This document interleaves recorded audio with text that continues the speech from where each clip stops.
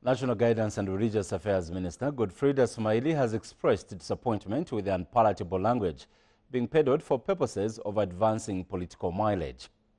Reverend Sumaili is concerned with a video circulating on social media in which a woman alleged to be at a political meeting in Petauke District, Eastern Province, was insulting area member of parliament Dora Siliya, who is also Information and Broadcasting Services Minister.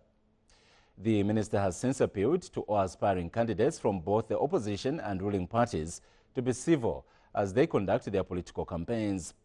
Speaking during a press briefing in Lusaka today, Reverend Sumaili noted that it is unacceptable and uncultured for any person to insult a leader regardless of their political interest. I therefore wish to appeal to aspiring candidates in the opposition and also in the ruling party to be civil as they carry out their political campaigns. Let us desist from name calling, character assassination, and let us concentrate on issues. Let us convince the voters on what we have done and on what we intend to do to lift their living standards.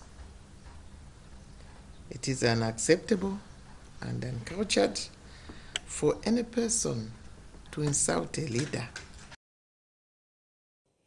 Thank you so much for watching. Don't forget to like, leave a comment, and subscribe.